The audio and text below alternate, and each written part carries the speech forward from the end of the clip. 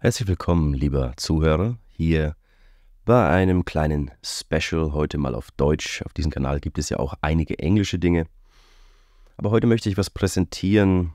Ich wurde nämlich eingeladen, in einem sehr schönen, ja, spirituellen Buch meinen Beitrag zu leisten. Das Ganze nennt sich Art of Spirit. Es ist der elfte Band, beziehungsweise auch der Abschlussband einer Anthologiereihe aus dem Verlag Art of Arts der Subtitel ist Lichtvolle Wortfrequenzen des Herzens. Und ich habe mich sehr gefreut über diese Einladung und es gibt auch ein paar andere, vielleicht auch bekannte Namen, die hier mitgeschrieben haben, wie zum Beispiel Eva Laspers, Christian Malzahn, Marion Mittlacher, Susanne Kapp, Ursula Schütz, Rudi Berner und so weiter und so fort. Und heute dachte ich mir, ich möchte gerne meine Geschichte vorlesen und einfach vielleicht ein bisschen anteasern, was dieses Buch denn so zu bieten hat. Und vielleicht möchtest du dir dieses Buch ja auch kaufen und kannst die Geschichte dann einfach nochmal selbst für dich lesen und eben auch all die anderen wunderbaren Geschichten. Dieses Buch hat eine Länge von um die 200 Seiten. Innen hat es einen Farbdruck. Es ist wirklich sehr schön. Ich halte es gerade in der Hand. Es fühlt sich wunderbar an. Es ist sehr schön gesetzt. Die Schrift ist wunderbar im Fluss. Und ich würde jetzt einfach mal anfangen. Das Lehmhaus der Verwandlung. Seine Schultern waren tiefenentspannt. Seine Augen gingen langsam auf und erblickten eine scheinbar neue Welt. Sein Kiefer war locker und sein ganzes Dasein war befreit. Er war noch sehr jung, als er sich das letzte Mal so fühlte. Die Umgebung, die er erblickte, war so hell und so reich an Farben. Es war fast ein wenig zu viel an Schönheit aber er konnte sich dem Ganzen dennoch hingeben. Es brauchte keine Worte. Es gab keine störenden Gedanken. Er saß einfach nur da in einem simplen, aber schön eingerichteten Lehmhaus, mitten in der Natur. Er genoss das Warten ohne Ziel. Hinter ihm glühten wohlduftende Holzreste im Kamin. Er saß auf einer braunen Schafwolle, welche das am Boden sitzen wirklich angenehm machte. Er atmete tief ein und aus. Sein Körper bewegte sich sanft und dabei ließ er gekonnt den letzten Moment los. Erst jetzt bemerkte er, dass sein Gegenüber gar nicht mehr vor ihm saß. Anscheinend gelangte er durch die Wahrheiten, die sein Gegenüber mit ihm teilte, in eine Art Trance, so dass er die Zeit und den Raum um sich komplett vergessen hatte. Er war weder glücklich noch traurig. Er existierte einfach und nahm dabei sein Selbst wahr. Seine Augen glitten durch den Raum und er empfand tiefe Zufriedenheit. Eine alte Holztür knarzte in der Ferne und weckte seine Neugier. Sein Blick ging langsam in die Richtung, aus dem das Geräusch kam. Schwere Schritte kamen näher auf ihn zu, und kurz fragte er sich, wer das wohl sei. Doch dieser Gedanke verblasste schnell wieder. Er gab sich dem, was kommen mag, hin. Im nächsten Moment stand da plötzlich ein Mann im Türrahmen. Dieser wirkte überfordert und müde. Nach ein paar weiteren mühseligen Schritten setzte sich dieser auf eine massive Holzbank gleich gegenüber von ihm. Träge und schwer, als würde er eine Last von vielen Leben mit sich tragen. Er beobachtete den müden Mann eine Zeit lang, ohne etwas zu sagen oder zu tun. Der Mann senkte seinen Kopf, als wolle er ihn in seinem Körper vergraben. Seine Hände bewegten sich dabei nach oben und schützten seinen Kopf.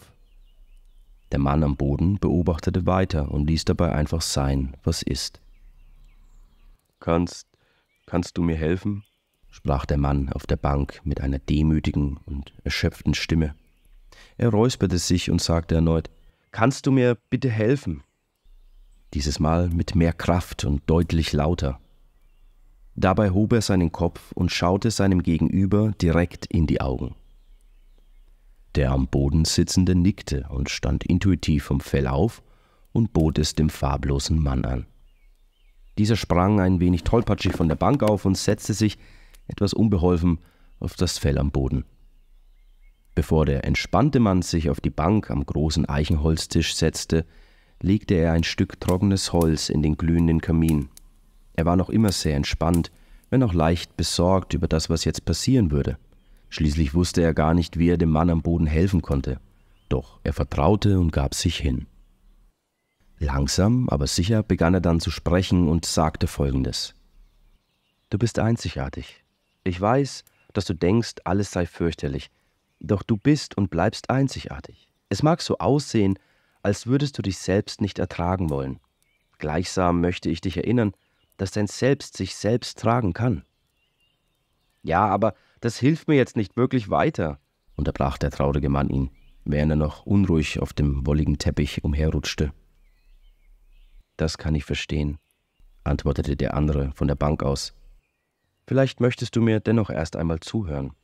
Vielleicht versteckt sich ja in all dem, was ich sage, doch eine Wahrheit für dich, die dir gut tut, sprach er weiter. Sein Gegenüber brummte leise, hm, als würde sein Körper Ja sagen, und nickte leicht mit dem Kopf. Jeder ist einzigartig, nicht nur du. Keiner ist besonders. Wenn jeder einzigartig ist, dann hat jeder ein ganz einzigartiges Leben. Kein Leben kann jemals mit einem anderen verglichen werden. Deines ist absolut perfekt und richtig so, wie es ist. Du hast nur vergessen, wer du bist. Und um das zu sehen, hilft es, das Vergleichen aufzuhören. Dich selbst mit irgendetwas im Außen zu vergleichen, wird nur Leid bringen. Keiner mag Leid. Leid ist kein wesentlicher Teil des Lebens. Es ist etwas, das wir uns selbst antun, weil wir unsere eigene Magie ignorieren sprach der Mann auf der hölzernen Bank mit sanfter Stimme. Der Raum war für einen langen Moment sehr still und klar. Und dann fuhr er fort und sagte, ich weiß, dass du sehr viel über Spiritualität kennengelernt hast, und ich weiß auch, dass du denkst, du hättest es alles verstanden, vielleicht auch angewandt, ohne Erfolg. Lass uns ein Experiment machen und einfach mal behaupten, dass du nichts über all das wissen würdest. Nehmen wir einfach mal an, du wärst komplett befreit von all deinem Wissen und all deinen Vorurteilen, befreit von allem mentalen Gerümpel. Die Essenz, die dann bleibt, könnte dennoch hervorragend das Leben, welches dich bewegt, erleben. Dein Körper würde dennoch existieren, dein Herz würde schlagen und dein Gehirn würde all die chemischen Prozesse regulieren. Ich erwarte nicht von dir, dass du dein Wissen aufgibst. Ich möchte dich lediglich darum bitten zu sehen, dass das Wissen alleine keine Macht hat. Das wird uns zwar von klein auf beigebracht, und doch ist es eine Lüge. Nur wenn Wissen verstanden wird und dann Anwendung findet, ohne Zutun von mentalen strategischem Wirrwarr, kann Weisheit gedeihen, kann Weisheit befreien. Der Mann vorm Kamin schnaufte tief und sagte, keine Ahnung, ob mir das jetzt was bringt. Kann schon sein, dass Wissen nicht alles ist, aber es hilft uns doch voranzukommen. Wir brauchen das Wissen, sonst würde es, sonst würde alles den Bach runtergehen. Oder, oder was meinst du überhaupt damit? Ich weiß nicht, ob du offen genug bist, um das zu hören, was ich dir sagen möchte. Jedoch werde ich es probieren. Denn schließlich bist du auf mich zugekommen und ich folge meinem Körperimpuls. Du hast mich um Hilfe gebeten, nachdem ein anderer Mann, der dir außen entgegenkam, dir empfohlen hat, zu mir zu kommen. Stimmt's? sagte der entspannte Mann. Ja, das stimmt. Woher weißt du das? fragte der andere ein wenig verblüfft. Das ist jetzt gerade nicht wichtig, aber du wirst es noch verstehen, versprochen. Zuerst möchte ich dir etwas Essentielles mitteilen. Ich möchte dir von der möglicherweise größten Lüge erzählen. Das kann sehr unangenehm werden, aber auch befreien. Bist du bereit? fragte er den noch immer verkrampften Mann am Boden. Okay, schieß los, kam als Antwort, wenn auch ein wenig zögernd. Die größte Lüge, die wir uns als Menschen erzählen, die wohl größte Täuschung, die wir verehren, beschützen und festhalten, die mächtigste Illusion von allen ist die eitle Annahme, wir hätten einen freien Willen. Wir sind so gefangen in unserem Denken, unseren Wünschen und Begierden nach Dingen, Orten und Menschen jenes, das wir nicht besitzen, dass wir nie auf die Idee kommen zu kapieren, dass wir dabei gar keine echte Wahl haben. Du hast keine Wahl. Ich habe keine Wahl. Wir sind alle nur Spielfiguren des großen Ganzen, Aspekte des Lebens, das sich selbst entdeckt. Vielleicht hilft es dir, wenn du dir vorstellst, dass wir Teilchen von einem größeren Organismus sind, so wie wir selbst aus Billionen von Zellen bestehen, die sich um ihre Aufgaben, ohne wirkliche Wahl zu haben, kümmern. Und dennoch bist du genauso wichtig und wertvoll wie jeder andere. Du hast eine Aufgabe und die anderen haben ihre. Jeder gemeine und miese Typ ist genauso essentiell für das Ganze wie jeder brave und heldenhafte. Keiner von uns hat wirklich die Macht, mit dem Verstand eine perfekte Entscheidung für das eigene Leben zu treffen, denn der Verstand ist nur ein Echo unseres reflektierten Bewusstseins. Das Gehirn, der Körper, weiß bereits, dass er Hunger hat, noch bevor der Verstand denkt, er habe nun erfunden, dass wir etwas essen sollten. Doch wir sind sehr, sehr ignorant. Wir vertrauen unserem Verstand mehr als unserem Körper, und dabei dient uns unser Körper von der ersten bis zur letzten Sekunde in absoluter, bedingungsloser Liebe. Der Körper ist immer für uns da, egal was wir ihm antun. Doch was macht der Verstand? Er bringt uns immer wieder ins Chaos, lässt uns immer wieder die gleichen Fehler machen und führt uns immer wieder in die Irre. Und jedes Mal hören wir erneut auf diesen Teil in uns. Genauer gesagt passiert das, indem wir, anstatt unserem Körper zu vertrauen, den lauten und kreischenden Stimmen des Verstandes nachgehen. Ich will, ich muss, ich sollte, ich könnte, und all das Handeln aus dem Verstand wird dann für den Menschen erkennbar, indem er Leid, Frustration, Wut oder Bitterkeit spürt. Ich weiß heute, dass Leid nur ein Nebenprodukt ist und nicht eine der Hauptzutaten des Lebens. Leiden ist ein Hinweis dafür, dass der Körper sich in die falsche Richtung bewegt. Denn der richtige Ort ist absolut wichtig für die Erfüllung des eigenen Lebens, sprach der Mann auf der Bank mit einer fast schon predigenden Stimme. Kopfschüttelnd und verwirrt stammelte das Gegenüber. Äh, warte mal. Was? Nee, nee, nee, nee, das kann nicht sein. Also, ich meine, das wäre zu verrückt. Das würde ja gar keinen Sinn machen. Ich dachte, wir sind Götter in Menschenkörper und wir sind hier, um die höchsten Ebenen des Bewusstseins zu erreichen ja, und, und all die Bemühungen, Karma-Yoga und, und diszipliniert sein und so weiter. Also, wir müssen doch gute und liebende Menschen werden. Licht und Liebe als Ziel, egal was es kostet. Ohne Fleiß kein Preis. Das, das kann man nicht einfach so. Dazu braucht man jahrelange Erfahrung mit spirituellen Meistern und Lehrern. Ich weiß nicht so recht, das klingt so einfach. Der Mann auf der Bank hatte ein freundliches und verständnisvolles Gesicht. Er nickte sogar leicht und antwortete nach einer kurzen Pause folgendes. Müssen wir das wirklich alles tun und sein? Genügt es nicht, dass wir existieren und unsere Individualität ausleben? Lass uns dazu vielleicht einen kurzen Blick in die Natur werfen. Ich persönlich habe noch nie ein Pferd oder ein Eichhörnchen gesehen, wie es diszipliniert versucht zu meditieren oder Yoga zu machen, um ein möglicherweise besseres Leben zu erreichen. Wir dürfen dabei auch nicht vergessen, dass wir selbst auch Säugetiere sind. Zwar intelligent und oft auch blöd in vielerlei Hinsicht. Ja, wir haben zwar dieses unheimliche Potenzial der Selbstreflexion, den Zugang zu emotionalen Tiefen und gleichsam sind wir eben Teil der Natur. Wir stehen nicht über dieser. Wir denken das zwar und handeln oft dementsprechend, was genau die Dilemmata mit sich bringt, die wir in dieser Welt sehen. Doch die Natur wird immer gewinnen und die Natur braucht sicherlich nicht uns als Menschen dafür. Stell dir mal vor, wie die Welt wäre, wenn wir einfach nur im Jetzt voll und ganz unser Selbst zum Ausdruck bringen wenn wir wirklich akzeptieren würden, dass die Natur uns beherrscht, anstatt andersherum. Und das bedeutet nicht, dass wir ständig etwas tun oder erreichen müssen. Manchmal ist Ausruhen, Nichtstun und schlichtweg Sein viel effizienter. Das ist eines der Schlüsselwörter, finde ich. Effizienz anstatt Effektivität.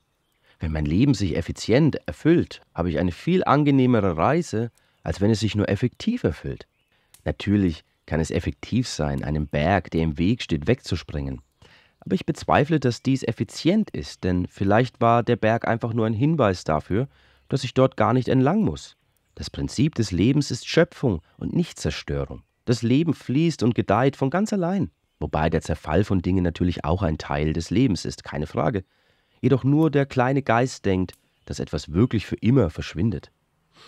Was wäre, wenn du dich einfach dem Leben hingibst, was wäre, wenn du morgens aufwachst und nicht deinem lauten Verstand Folge leistest? Was wäre, wenn dein Leben ein Film wäre, in dem du die Hauptrolle spielst, ohne überhaupt aktiv beteiligt zu sein? Denn es benötigt keine gesteigerte Anstrengung, um dein Schicksal zu erfüllen. Kannst du dir das überhaupt vorstellen? Wäre das nicht unglaublich befreiend? Eine Stille kehrte im rostrotem Lehmraum ein. Durch das kleine Fenster kamen warme Sonnenstrahlen und erleuchteten den kargen Raum. Beide blickten sich in die Augen. Es gab einen Moment der Klarheit, der über Kilometer weit gespürt werden konnte. Das war ein Moment der Wahrheit für beide, ein Moment der Befreiung des Selbst. Doch leider war es nur von kurzer Dauer, denn der Mann am Boden verfiel wieder in Zweifel und angelernte Perspektiven. Das ist wirklich harter Tobak. Etwas in mir resoniert wirklich sehr stark damit. Es ist fast wie das Gefühl von Heimat. Doch gleichzeitig spüre ich eine enorme Angst davor. Mein Verstand wehrt sich enorm gegen diese Aussagen. Ich habe Angst, dass es wahr sein könnte. Ich fürchte mich davor, dass ich viele Jahre einfach vergeudet haben könnte. Oh Gott, das wäre ja. Uff, ich will gar nicht darüber nachdenken. Das kann ich sehr gut verstehen. Du musst mir auch nichts davon glauben. Du darfst alles sein und tun, was immer du möchtest. Meine Aufgabe ist es, dir diese unkonventionellen Ideen zu vermitteln. Ich habe keine direkte Lösung für dich, aber ich weiß, welche Dinge zerstört werden müssen, um Raum für Neues zu schaffen. Was von dem Gesagten bei dir ankommt, weiß ich nicht. Hast du dich nie gefragt, wie viele Ichs von dir in den Köpfen von anderen Menschen existieren? Kann dich jemand wirklich kennen, außer du dich selbst? Und oft kennen wir uns selbst nicht. Wir tun alle nur so, als würden wir wissen, wie das Leben funktioniert.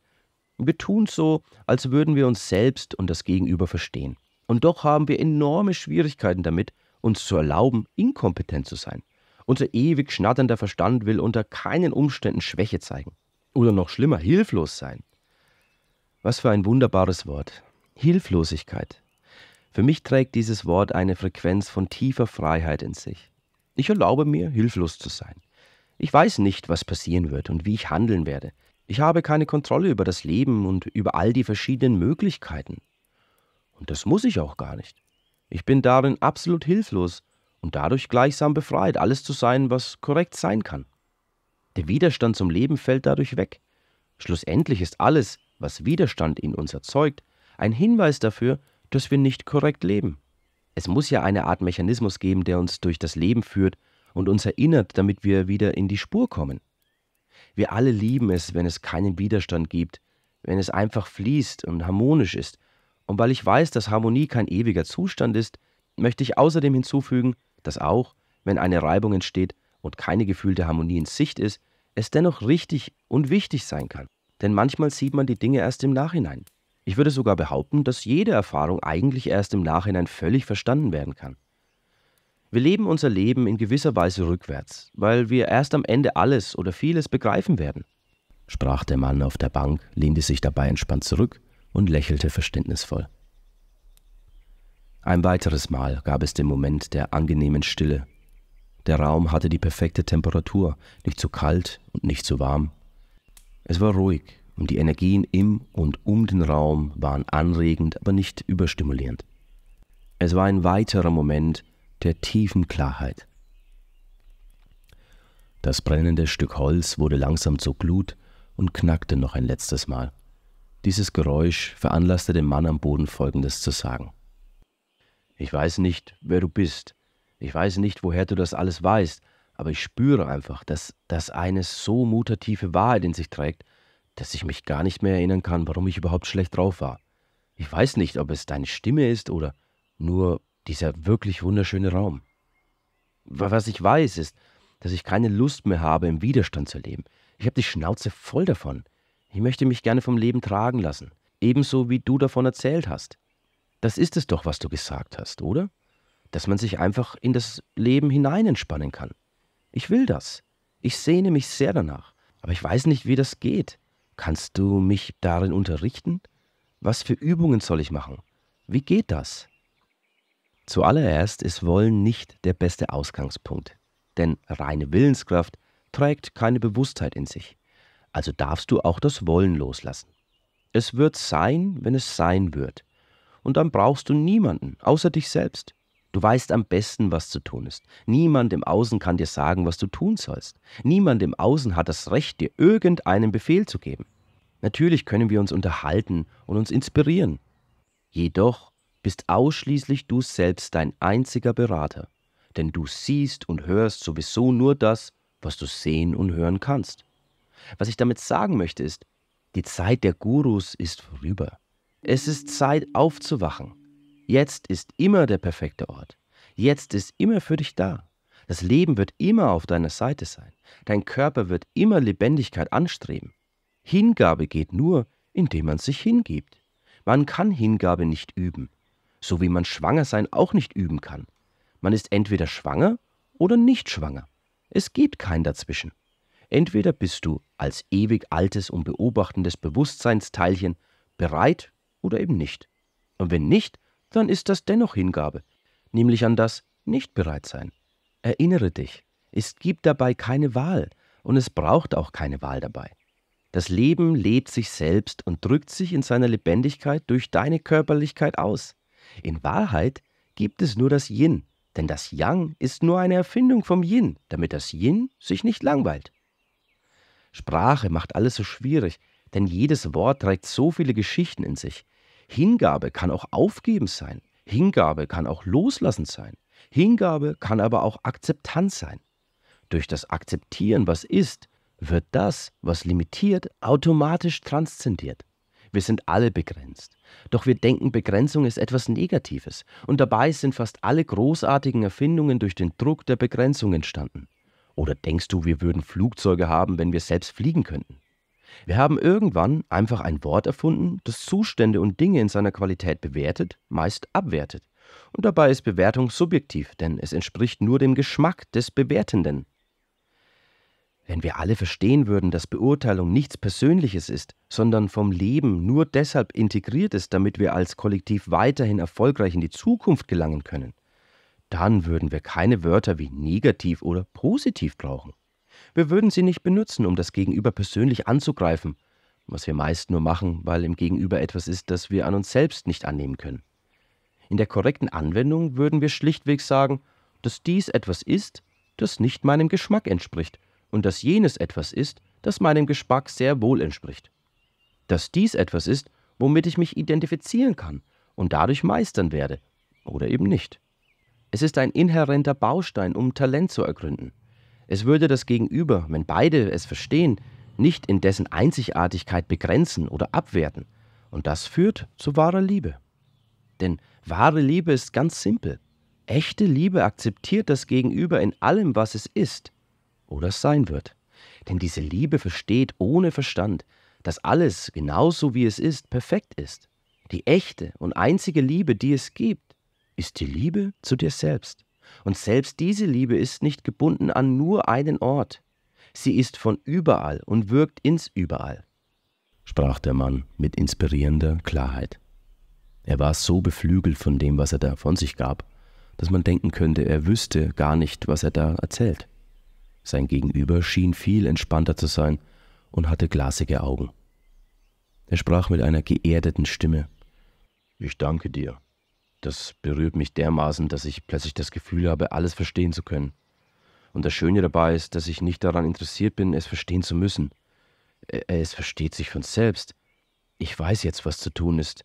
Ich weiß jetzt, was passieren möchte. Und so schloss der Mann am Boden seine Augen. Der neugeborene Prediger stand leise auf und verließ den Raum. Er schloss die schwere Holztür sanft hinter sich und lief über die weiche Wiese in eine unbekannte Richtung. Nach ein paar Schritten kam ihm ein trauriger Mann entgegen. Dieser Mann erblickte ihn und fragte, ob er vielleicht ein Ohr für ihn hätte, denn er müsste unbedingt mit jemand sprechen. Er sagte, dass er einfach keinen Sinn mehr im Leben sieht. Der Prediger wusste, was zu tun war. Er begriff erneut, um was es eigentlich ging, und riet dem Mann, dort drüben ins magische Lehmhaus zu